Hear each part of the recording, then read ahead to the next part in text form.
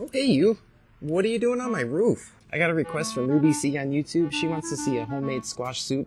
So that's what I'm gonna do. Let's go get started. Oh yeah, and don't forget to give this video a like. Thanks.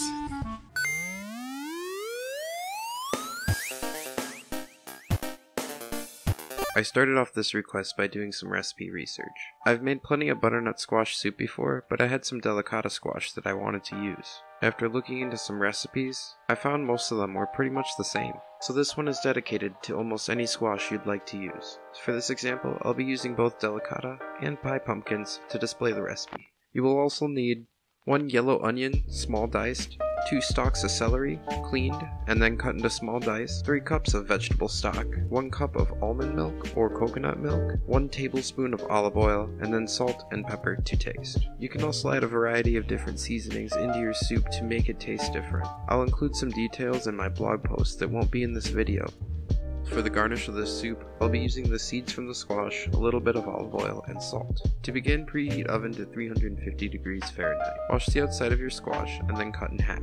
Remove the seeds. Save some of the seeds for roasting as a garnish. Lightly grease a baking sheet with olive oil, then arrange squash on the baking sheet, cut side down, and then bake until squash is tender. This will take about 35 to 40 minutes. Once squash is tender, remove it from the oven and set aside to cool. In a medium heavy bottom saucepot, add 1 tablespoon of olive oil. Add onions and celery and then sweat until onions have become translucent. You can also caramelize these on a low and slow temperature to add a different flavor to your soup. Add in the stock and bring to a simmer. If you're making the garnish, line your sheet tray with parchment paper. Clean seeds, then dry them with a clean kitchen towel. Arrange them on a parchment lined baking sheet and then drizzle with olive oil and a sprinkle of salt. Toss them to coat and then bake in the oven for 20 to 30 minutes. Once squash is cool enough, Scoop out the flesh using a large kitchen spoon into a medium bowl. Add squash to the stock pot. If you noticed your squash was not quite as tender as you'd like when you were scooping it, use this time to simmer the squash until it is fully tender. Once squash is nice and tender, use an immersion blender and thoroughly puree. If you don't have an immersion blender, you can also use a regular one. I'll also put a link in the description for the one I have so you can purchase it off of Amazon. The Veggie Nerd will also receive a small commission. This will help support future recipes. Blend in almond milk or coconut milk.